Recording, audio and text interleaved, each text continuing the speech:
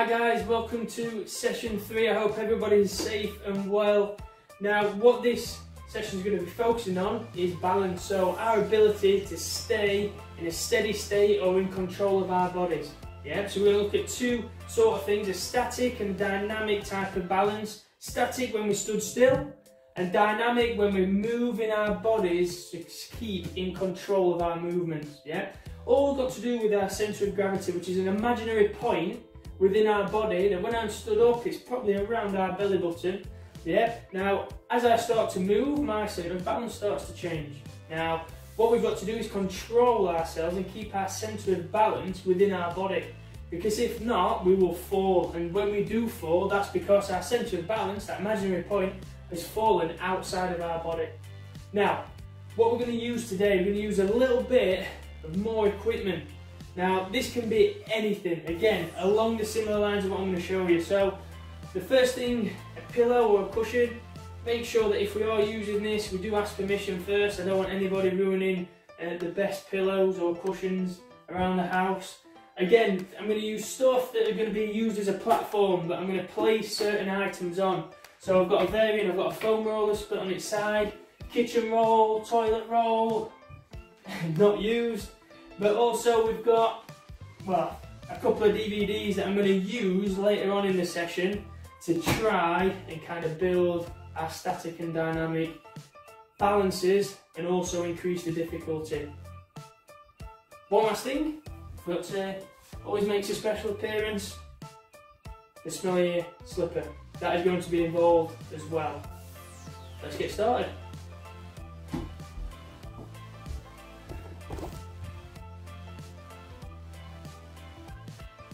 Right, so balance, it's all about keeping our bodies nice and stable and in control of our movements. And something called centre of gravity and centre of balance within our body, yeah? Because if it goes outside of our body, we tend to fall and that's when we do fall over. I use an example of when we're running and when we're sprinting, that all we're trying to do is keep up with the rest of our body because we're leaning forward, we're overbalanced, and then it's our legs trying to keep up with our body and that's why we're sprinting and that's why we increase speed to keep our body upright again. Yeah, that's how that's an example of how acceleration works and how we use balance to increase the speed.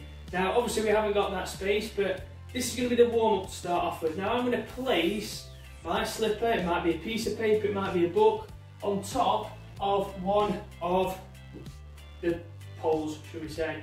Now, all I'm going to do, I'm going to do an inchworm. So, an inchworm is where we stretch all the way out and then back in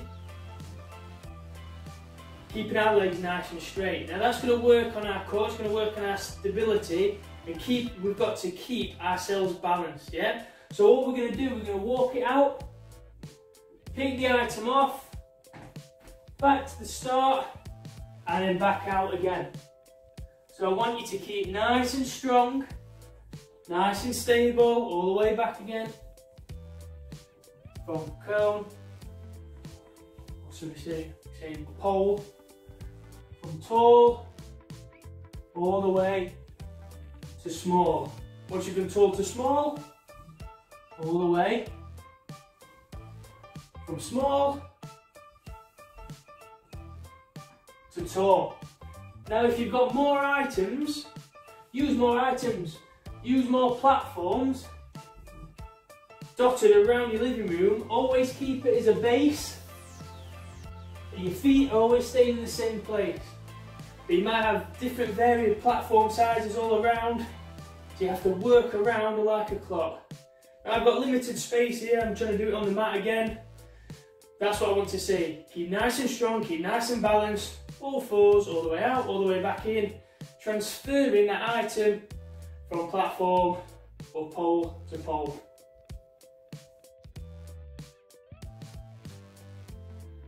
Continuing the warm up. Yeah, so all we're going to do this time, we're going to squat down. Now I'm stood on a pillow. If there's anything, you might have a beanbag at home, it might be a cushion. Again, ask permission from adults first, because I don't want you ruining the favourite pillows or favourite cushions. But it won't be for long, and it's just for your ankle stability. So, I'm to start with two feet to start off with. I'm going to squat down. Again, lift the platform off. Place it on the next one. Again, I'm leaning slightly forward, so I'm testing my balance a little bit. Yeah, the smaller the, the object, or the platform, the harder it's going to be. Again, I'm on that slightly uneven surface, so I'm testing my stability, my ankle and my knees. Now, the next stage of that, we're gonna have one foot, so it gets slightly trickier. Now we're gonna try and keep balance all the way with one leg. Now you'll start to see my ankles, my knees starting to shake, starting to quiver because my muscles are trying to constantly change my balancing stance, keep me nice and stable. Here we go. All the way to the end. Again, you can create a kind of clock if you've got enough items to pick it up and place it at different areas around the clock. Go clockwise, anti-clockwise, go alternate. You might have various objects balancing on each platform.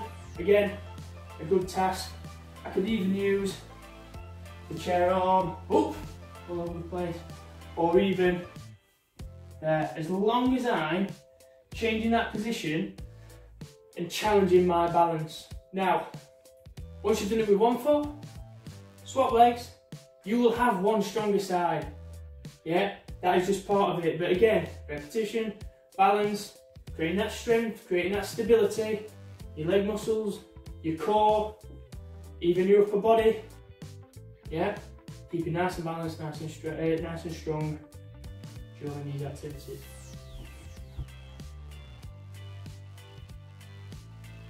Right, so I'm going to use the pillow for this exercise again. Yeah, so we're moving into the activity stage.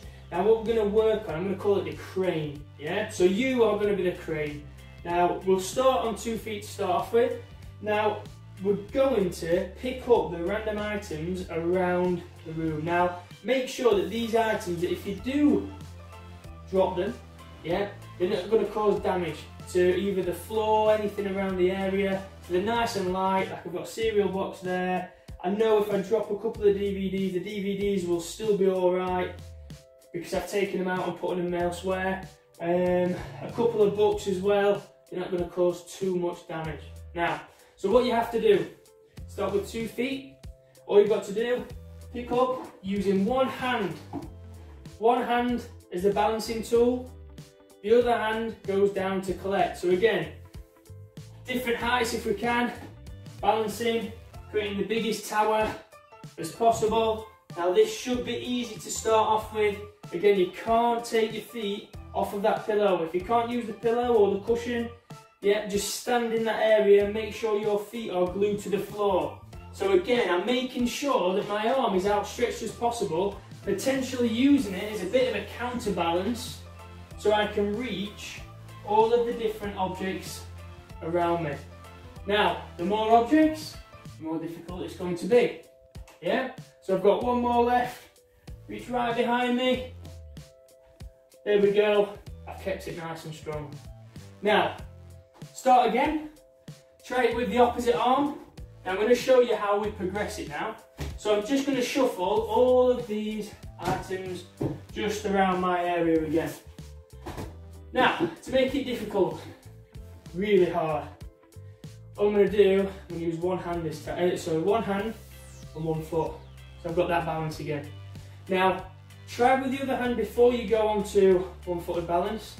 But once you're on one foot balance, choose that arm that you trust. So I'm going to choose my right arm. Again, my foot is already shaking, already twitching, trying to readjust my balance. Now, Little tip, whoa, nearly went. Go for the most heaviest items first. Yeah, we pick it up, whoop, nearly went. Using that leg, there's a bit of a counterbalance. Like so. Now if you do fall and you step off, make sure you catch yourself. Yeah, because I don't want you falling into settees, sofas, TVs, even radiators. Make sure that you do catch yourself. It's not the end of the world if you fall off. So once you've done that, even if you've collected only five, step off, replace them back to the start again. Try with that opposite hand again.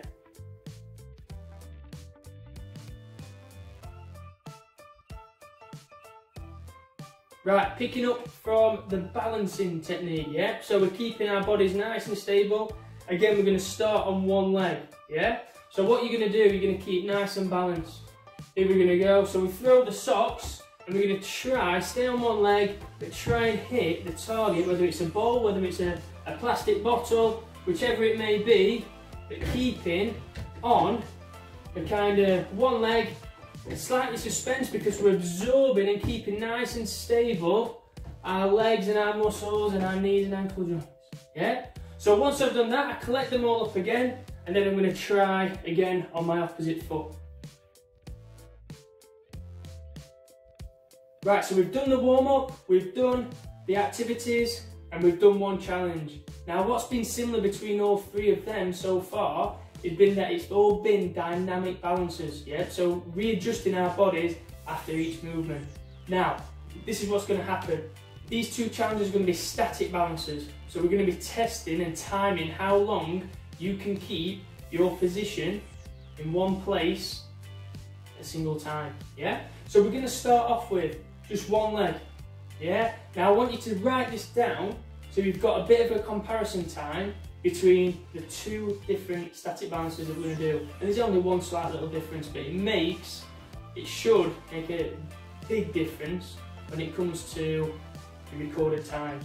Now, so the first one, all it's going to be, you're going to put your uh, heel to your knee, a little bit like a stalk, you're going to put your hands out wide. And you're just going to focus on the wall. Now get somebody to time you for as long as possible Find that fixed point in your mind. Normally if you look at something still or focus on something still, it will help you stay balanced for longer. So once you've timed that, what if you do take a step off, if you do fall off of balance or move off of balance, yeah, stop the clock, there we go, time to scroll down. So that was on my right leg. This time I'm going to do it on my left leg. Again, you might have a stronger side. If you have a stronger side, that is absolutely fine. Again, how we get to being both ambidextrous with both sides of our body is just through practice. And the younger we work that out and the younger we work on that, the better we're going to be in different sports as we get older. Now, once you've done that, you might find that really easy. You might be able to do that for a minute, a couple of minutes. This time, eyes closed. So, just make sure I would enjoy it a bit more if you were supervising the room by doing this. Yeah, so make sure you've either got an adult or a sibling, either with the stopwatch or ready just watching you, making sure you're safe. Make sure there aren't as many sharp edges around, so if I fall on, I'm going to fall onto this quite soft box and this quite soft settee, yeah, or even the floor. Yeah, it's quite soft there as well. But make sure we're not doing it anywhere near any radiators or TV stands, televisions, chairs, sharp objects. So what I'm going to do this time is I'm going to get into this stalk position again. Whichever starting foot you want, close your eyes. Now what you'll feel is you'll start to wobble and you'll start to twitch and you won't be able to last as long. So again, once you've done it on one side, swap over. Again, as soon as you take that vision away, that's when it starts to become a little bit more difficult. Again, show your progression, track your progression, What's it like from when you're open, you've got your eyes open, but also when you close your eyes as well? And why do you think you feel that?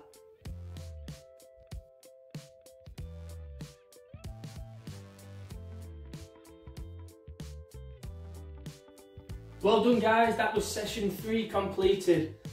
All to do with balancing, static balancing, where we keep still in a still position, a static position for as long as possible. Also, we've looked at dynamic balances, where we're constantly on the move, keeping our bodies in control and keeping that centre of balance within our bodies so we don't fall over. Really, really important. So I put this in a sporting context, yeah? Now, it's all to do, and it can be all to do with our coordination, our agility, but also if we're becoming strong sprinters, if we're changing direction in all different types of sports, either with or without a ball, we have to maintain balance for our movements to be powerful and sharp, which is really important in a large majority of sports where that power and speed allow us to get allow us to get a space or a yard of space to get a shot, a pass, or even dribble further away. Now, example, I'm a sprinter. If I am not balanced during my drive, I cannot apply my full amount of power straight forward. Yeah, so you look at Usain Bolt, Yohan Blake, all the quickest sprinters in the world, they are poised, they are strong, and their movements are so stable. So when they drive forwards, they are keeping a good dynamic balance, which allows them to use all their force, speed, and power in the right way, in the right direction. So they're not wasting energy on leaning forwards, backwards, or even uh, wasting any milliseconds going from side to side in that wobble. Really important skill. I hope everyone's enjoyed it. Carry on staying safe. Till next time.